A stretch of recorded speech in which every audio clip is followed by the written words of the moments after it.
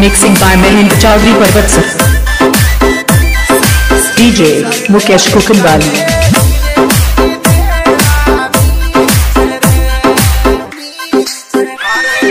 you.